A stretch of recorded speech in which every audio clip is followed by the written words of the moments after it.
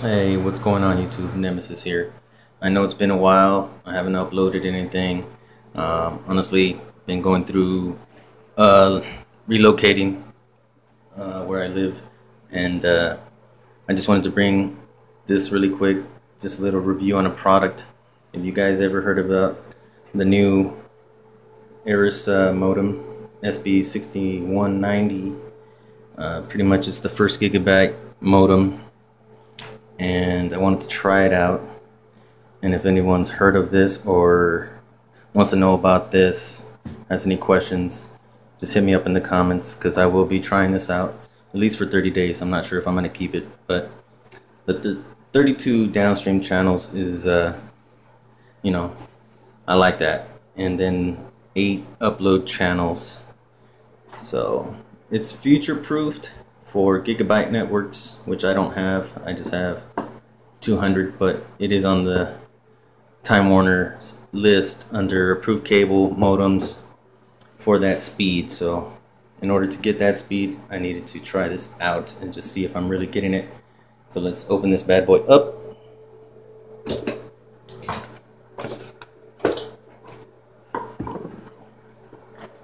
What I like is that it's white. So now it's gonna match my NetDuma router. There it goes. It's gigahertz coax input now.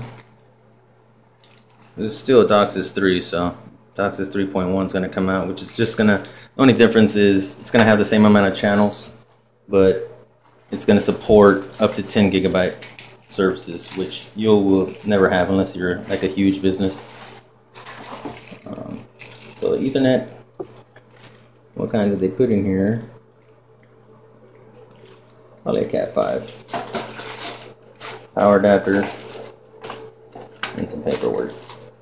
I'm gonna hook this bad boy up, call Time Warner right now, and hopefully they can support all the channels right now. They might just do 24 channels, but either way, I um, should be getting the speeds, and uh, I'll let you know how this performs because it should be a lot faster with latency and stuff. But the newest and the greatest first gigabyte cable modem by Arris, which was sold by Google when they acquired Motorola. I don't know if everybody knows that, but Google purchased Motorola. Yeah. So, Arris now owns this company, and, you know, looks like good shit, so. Let me know what you guys think in the comments down below. Alright, if you like this video, go ahead and share it and I will make a following a follow-up video on this let you know how it performs all right take it easy peace